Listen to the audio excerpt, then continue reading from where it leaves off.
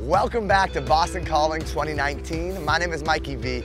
I will be your host and I'm super excited to be back this year and take you into the festival with Delta Copilot. Here's the deal. The best way to get here 100% public transit.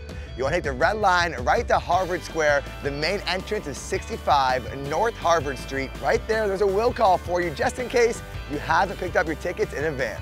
All right, now that we are here, let's make sure that we get in. Here are some do's and don'ts of the festival. Do bring a sunscreen, a hat, sunglasses, and a sealed water bottle. Don't forget those comfy shoes so you can show off those dance moves. And don't bring a chair, an umbrella, a blanket. And remember, there's no smoking of any kind. If you do need to bring a bag, you will most likely need to place it in the lockers stationed by the main entrance. My name is Mikey V, your Delta co-pilot, signing off.